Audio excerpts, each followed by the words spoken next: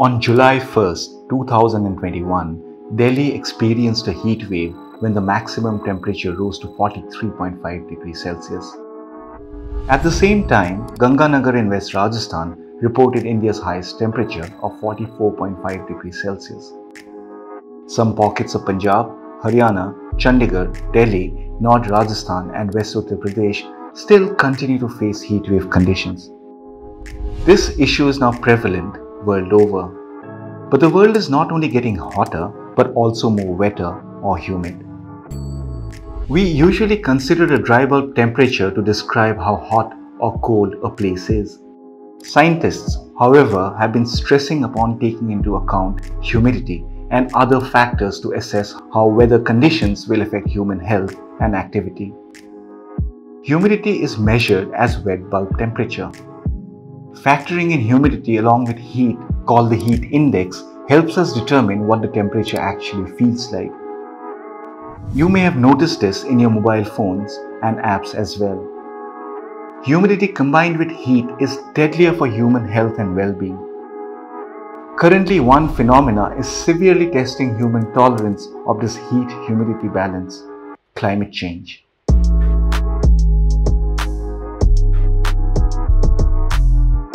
Humans with their sweat-based cooling systems have been well designed to beat the heat. But there's a limit to the level of heat and humidity we can cope with.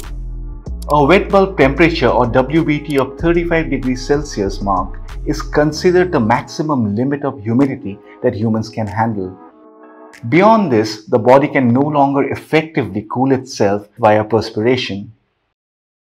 Wet bulb temperature, which is when the dry air cannot be cooled further down by adding moisture, is at 32 degrees. Humans cannot actually do any physical activities. They need to lie down and rest. They are not possible to do. And if it crosses 35, it's almost fatal. It's human body cannot take it because human body cannot release the heat which is being generated by our bodily systems and then it just fails to function. Dhahran, home to the headquarters of the Saudi Arabian oil company Aramco, recorded one of the highest index. In July 2003, the dry bulb temperature in the city reached 42 degrees Celsius with a wet bulb temperature of 35 degrees Celsius. These numbers may sound modest, but they are not. This technically means a heat index of 81 degrees Celsius, an extremely dangerous condition with imminent heat strokes. The dangers of the heat and humidity together is that it makes you unproductive, makes your body not function properly and it's very unhealthy and very high levels of it can actually have very dire uh, health consequences for people, even healthy people.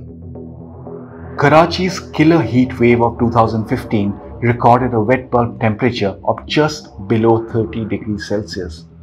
The same year, WBT in Andhra Pradesh reached 30 degrees Celsius, killing 2,500 people. During this year's heat wave in April, the temperature in Chennai's Nungambakkam weather station clocked a sizzling 41.6 degrees Celsius.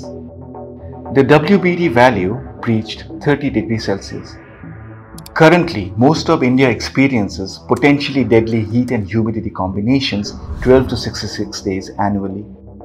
This number becomes threefold for hotspots on the east coast such as Sundarbans, Kolkata and Cuttack. According to a recent study by IMD and IITM, the heat index recorded over the last 60 years has shown a gradual increase. 25 major cities in India, including New Delhi, Mumbai, Hyderabad and Lucknow have recorded very hot in the summer and monsoon heat indices. If this is the current situation, what would the near future conditions be like?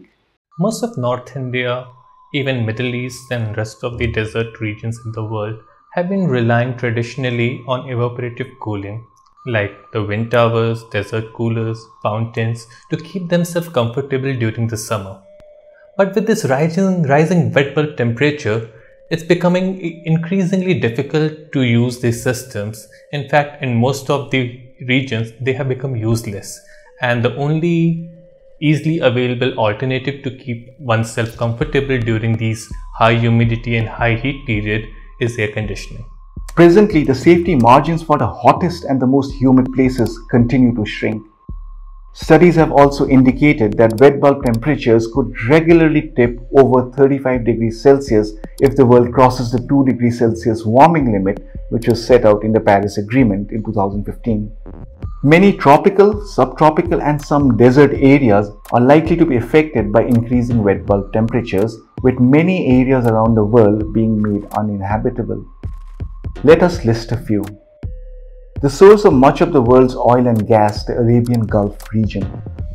Here, cities like Abu Dhabi, Dubai, Doha, Tehran and Bandar Abbas are likely to have extreme conditions. By 2071 to 2100, these cities will approach and exceed the wet bulb 35 degrees Celsius limit for more than 6 hours a day. Regions vulnerable to increasing temperature and humidity.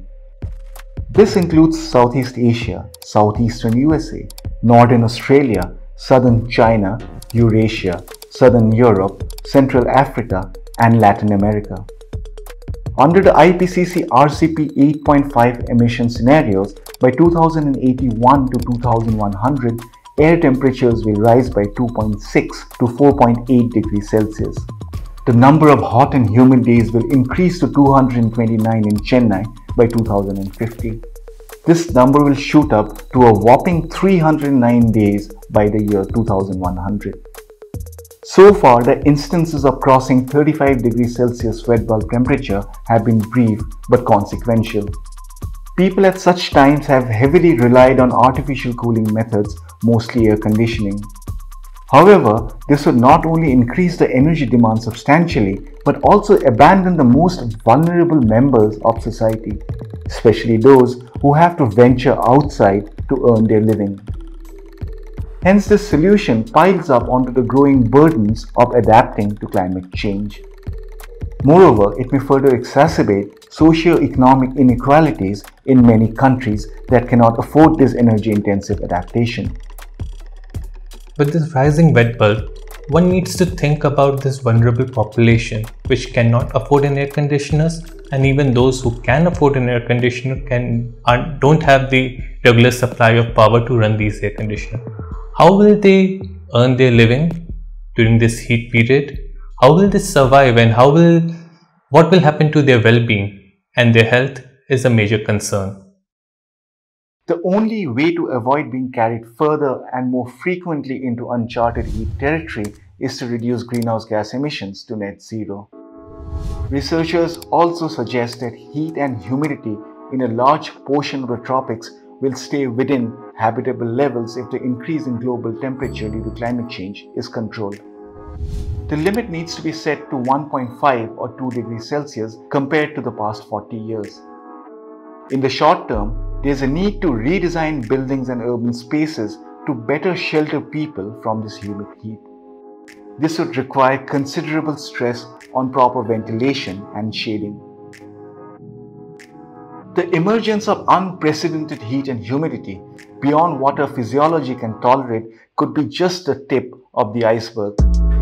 A warmer and wetter world is definitely dangerous for the human body but it also has a potential to generate climate extremes that may be beyond human comprehension.